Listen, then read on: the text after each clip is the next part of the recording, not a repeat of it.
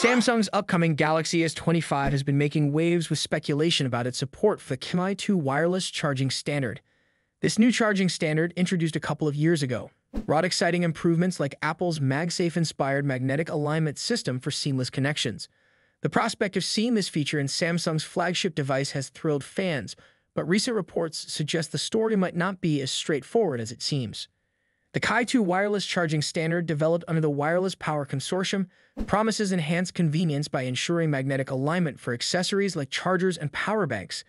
Devices that fully support Qi2 carry its official logo, guaranteeing they include the magnetic power profile derived from Apple's MagSafe. This profile ensures secure, precise connections with compatible devices. Naturally, when rumors of the Galaxy S25 featuring Qi2 began circulating, expectations soared. However, a closer look at recent leaks has revealed some complications. Samsung's first-party accessories list for the Galaxy S25 was recently leaked, sparking speculation. Among the accessories was something called a magnet case. The presence of this item immediately led many to believe the Galaxy S25 would feature full Qi2 compatibility, including its magnetic alignment capabilities. But further clarification has cast doubt on whether the Galaxy S25 itself will natively support magnetic alignment or whether the functionality will depend on the case. According to the Wireless Power Consortium, any device sporting the Qi2 logo is guaranteed to include the magnetic power profile, enabling the kind of magnetic alignment we see with Apple's MagSafe. However, reports suggest that the Galaxy S25 itself may not bear the Qi2 logo. This means while the phone might still support wireless charging at a respectable 15 watts, it could lack the built-in magnetic alignment feature that sets Qi2 apart. Instead, Samsung's magnet case may carry the Qi2 logo and provide the magnetic alignment functionality as an accessory rather than a core feature of the phone. This approach is not unprecedented. It mirrors what other brands like OnePlus have done with their devices. The OnePlus 13, for example, lacks the magnetic power profile but offers first-party cases that enable magnetic alignment. For Galaxy S25 users, this could mean that fully unlocking Qi2's potential will require purchasing additional accessories, which might not sit well with everyone.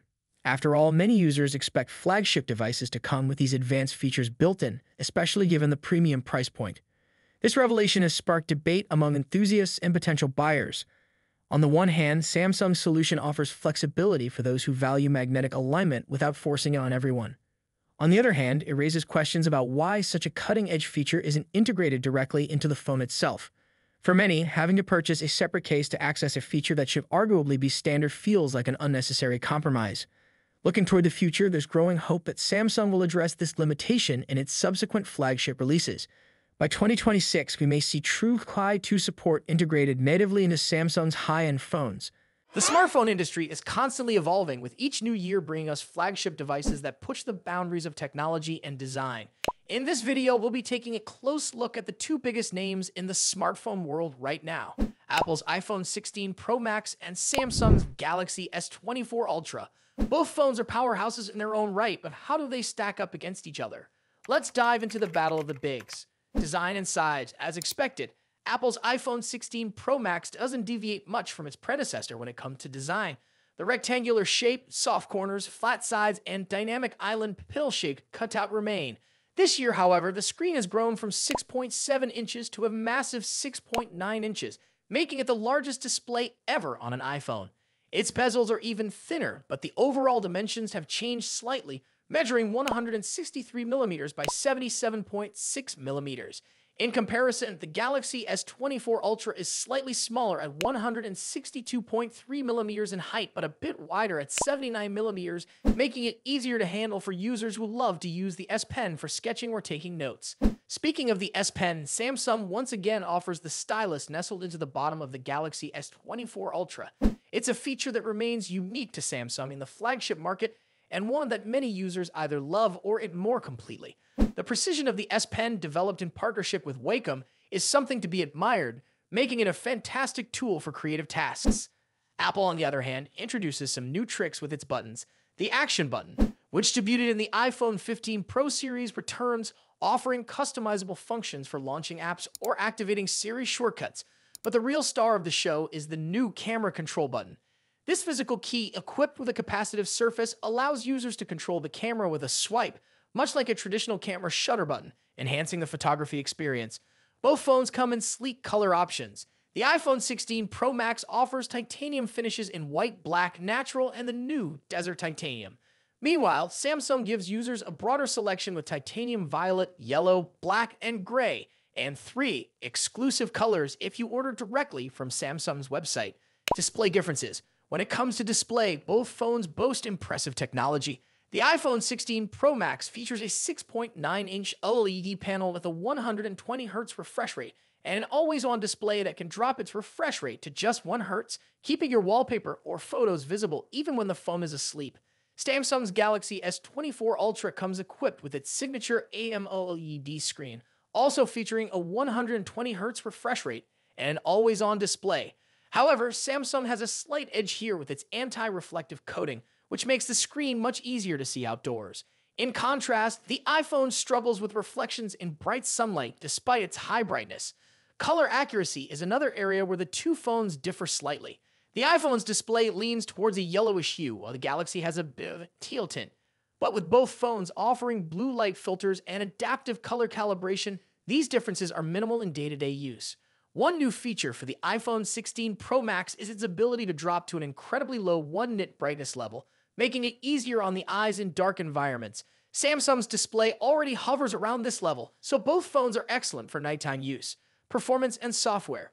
Under the hood, the iPhone 16 Pro Max is powered by Apple's latest A18 Pro chip, built on a second gen 3 nanometer process by TSMC. This cutting edge chip brings significant improvements in performance and efficiency, particularly when it comes to handling heavy tasks like gaming and AI driven processes. Apple has also focused on better heat dissipation, addressing the overheating issues that plagued the A17 Pro chip. The Galaxy S24 Ultra, on the other hand, is powered by the Qualcomm Snapdragon 8 Gen 3, specifically tuned for Samsung devices. While both chips are incredibly powerful, benchmarks show that Apple's A18 Pro takes the lead in CPU performance. However, in 3D graphics tests, the Galaxy S24 Ultra isn't far behind, offering stellar gaming performance. Both Apple and Samsung are pushing into the realm of AI, with dedicated NPU cores to handle AI tasks. The iPhone 16 Pro Max comes with Apple Intelligence, which will roll out new features gradually, while the Galaxy S24 Ultra already boasts AI powered features like live translation, generative image editing, and transcript summaries. As for software, the iPhone runs iOS, which has seen some welcome changes this year, bringing it closer to the flexibility of Android. You can now place app icons anywhere on the home screen and even customize their colors. But if customization is what you're after, Samsung's One UI still reigns supreme with features like split screen multitasking, themes, and more. Samsung has also stepped up its software update game, promising seven years of updates for the Galaxy S24 Ultra compared to Apple's five year commitment for the iPhone. Camera capabilities Apple has made some significant upgrades to the cameras on the iPhone 16 Pro Max, particularly the ultra wide camera, which now features a 48 megapixel sensor. The main camera remains at 48 megapixel, and the 5x telephoto camera comes with a 12 megapixel sensor. A new lens coating helps reduce the lens flare issue that has been prevalent in recent iPhone models, especially during night shots. Samsung, as always, is pushing the envelope with its camera hardware. The Galaxy S24 Ultra boasts a hopping 200 megapixel main camera, alongside a 12 megapixel ultra wide, a 10 megapixel 3x telephoto, and a 50 megapixel 5x zoom camera. While the megapixel count might seem impressive, the real magic happens in post processing. Both phones have excellent cameras, but Samsung has a slight edge in zoom performance, while the iPhone tends to oversharpen fine details like leaves or grass. In low light conditions, both phones perform admirably, but the iPhone's new lens coating helps reduce the flare and artifacts that can appear in night photos. Samsung, on the other hand, continues to struggle slightly with oversaturated greens in its images, but this is only noticeable when directly comparing photos side by side, battery and charging. When it comes to battery life, both phones pack a punch. The iPhone 16 Pro Max has a 4685 mAh battery, while the Galaxy S24 Ultra comes with a slightly larger 5000 mAh battery. However, Samsung takes the lead in charging speeds, offering 45 watt wired charging compared to the iPhone's 20 watt. For wireless charging, Apple's MagSafe offers 25 watt, while Samsung's wireless charging maxes out at 15 watt. Conclusion. So, which phone is the better choice? It's a tough call. The iPhone 16 Pro Max impresses with its sleek design, powerful A18 Pro chip, and improved cameras, while the Galaxy S24 Ultra excels with its S Pen, higher megapixel count, and faster charging speeds. Ultimately, it comes down to personal preference and whether you're more entrenched in Apple's ecosystem or Samsung's Android world. Either way, you're getting a top tier smartphone that won't disappoint. What do you think about it? Let us know your thoughts in the comments. Until then, take care. Goodbye.